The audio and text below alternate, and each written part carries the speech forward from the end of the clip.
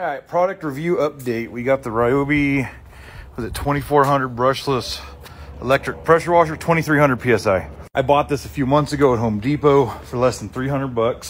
It is electric, has built-in GFCI, and it is still working fantastic. I just washed all three of those, the driveway, the patio, and I actually did inside my garage because we've been drinking in here and spilling beer.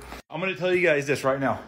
That thing is perfect for all the little stuff around the house, washing your trash bins, the patios, whatever. It works great. I've been adding just a little bit of pump saver every time I put it in storage just to be safe, cheap insurance. They do have the protection plan on it. And just in case you were wondering, literally just turn it on. And you guys are saying, oh my God, it's electric. Look at, I can literally clean the electric pressure washer. See? No problem. And then you just shut it off. No issues, no getting electrocuted. No